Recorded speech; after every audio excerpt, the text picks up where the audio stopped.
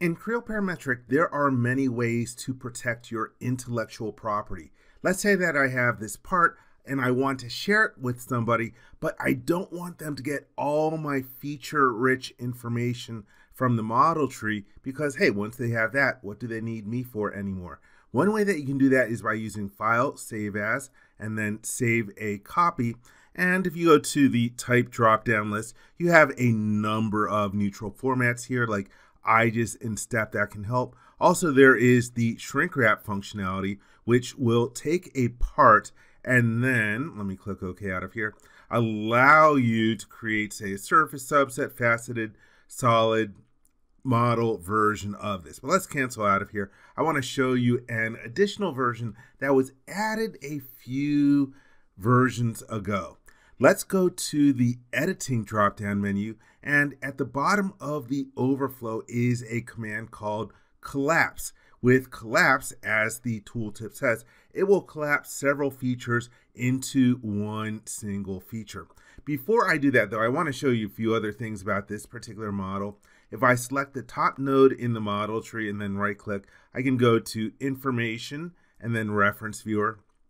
And we can see that this model has no external references. Also, if I go to the model intent overflow and then declare, I can list declarations and it turns out this is declared to one other layout. I could break that if I wanted to, but I just wanted to show that this is by and large independent of any other models in here. Let's go to the relations dialog box. I have that icon in my quick access toolbar. We do have some relations here in the model. Looks like a number of them are even invalid, but there are some relations that drive this particular model. Also, if I go to the parameters, you can see that there are a number of parameters in here. And one thing about some of the different versions of saving, depending on the options that you choose, you could end up losing a bunch of these different parameters. And sometimes you don't want to do that. So let's take a look at this collapse command. I will go to editing and then collapse. And here's the dialog box that opens up. You could select all geometrically related features or just do a range of features. And I prefer to use range of features because I usually like to leave the default datums intact so that you have some geometry for doing operations like if you needed to do an assemble and you didn't have the necessary surface references. So I just selected a whole bunch of features right out of the model tree. Here in the message area tells me that I have 1521 features selected. Here we have some other different options. You could keep analysis features, for example, features from the behavioral modeling extension. I can say, nope, I don't want them to have that.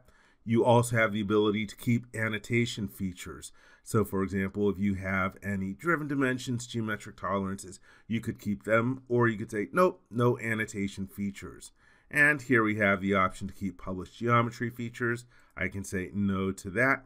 And we also have cosmetic features in here as well. So by doing this, a person is not going to get anything geometry or essentially feature related. When I click the OK button, it is doing some cranking. And that took a few seconds. Let me deselect everything. Here is the end result of the collapse operation. You can see a person just gets the geometry from the part if you take a look in the model tree, all those features, those 1500 features, are, are now replaced by a single independent geometry feature. Let's take a look at our relations.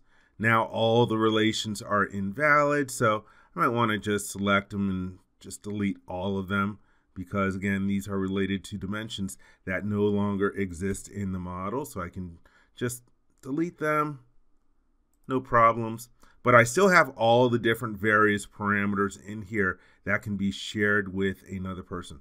Let's click OK out of there. And in this way, I am able to protect my intellectual property, but still able to share this model with other people. I hope you enjoyed this video. For more information, please visit www.creowindchill.com. If you learned something from this video, please give it a thumbs up and if you like this video, please click the subscribe button and ring the bell to be informed when new videos are uploaded. Thank you very much.